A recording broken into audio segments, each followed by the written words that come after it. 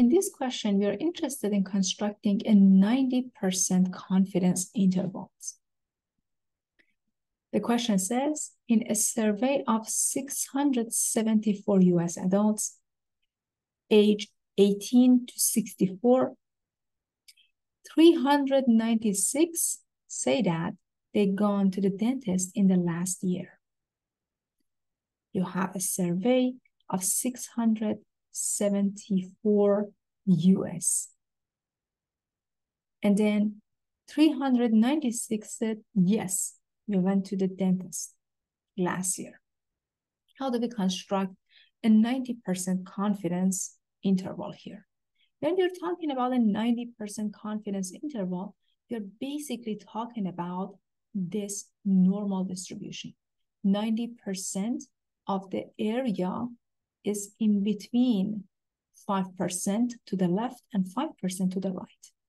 To find the critical value z sub c, you're going to use inverse norm. When you have a level of confidence, which is 90%, the area to the left is 5%. So if you use inverse norm, you can find the ZC or the critical value as negative 1.645. The positive one is on the right-hand side, 1.645. Why we need this? Because we're going to use this information and construct the confidence interval and we need the margin of error. So let us go to the next page. In this question, we're going to build a 90% confidence interval. You need to follow the guidelines. The guidelines say, hey, you need to identify the sample statistics N and X. Remember that N is the sample size. The sample size is the total number of people in the survey, 674, which is basically on the denominator. On the numerator, you have X, which is the number of successes. 396 said yes, we've gone to the dentist in the last year. So X or 396 goes on the numerator. You need to do the division and approximately is 0.588 or 58.80 of these people, they've gone to the dentist last year. Q hat is 1 minus P hat, which is approximately 0.412 or 41.20% said no. Very good. Verify that the sampling distribution of p hat can be approximated by a normal distribution. These are the basic algebra that you can easily calculate. N, which is your sample size, times p hat must be larger than or equals to 5. N, or the sample size times q hat, must be larger than or equals to 5. Find the critical value z sub c.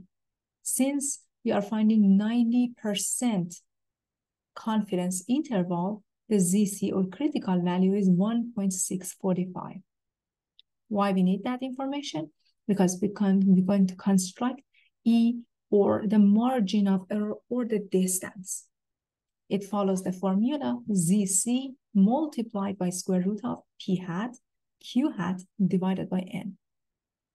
I need to plug everything in. So ZC times square root of P hat divided by uh, P hat times Q hat divided by N is 0.588 times 0.412. These are the numbers that you calculated here. Divided by N, N is the sample size, which is 674. Then you're going to say that, hey, my P or population proportion is bounded between P hat minus E and P hat plus E. So we are basically finding P hat plus minus E. 90% confidence interval is P hat plus minus the margin of error. P hat, as we calculated here, is 0.588 plus minus the margin of error, which is this number here. And after doing the calculation using your calculator, you get 0.031.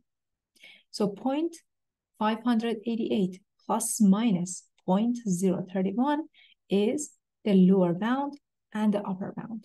The lower bound is 0.557 and the upper bound is 0.619. So what is our conclusion? Our conclusion is, hey, 90%, we are 90% confident that the population proportion of US males ages 18 to 64 that they gone to dentist in past year is in between 55.7% to 61.90%. So in summary, this is what we have to construct a 90% confidence interval. After doing the algebra, we say that, hey, we are 90% confident that population proportion of US male ages 18 to 64 who say that they've gone to the dentist in the past year is between 55.7% and 61.9%. That's the interpretation.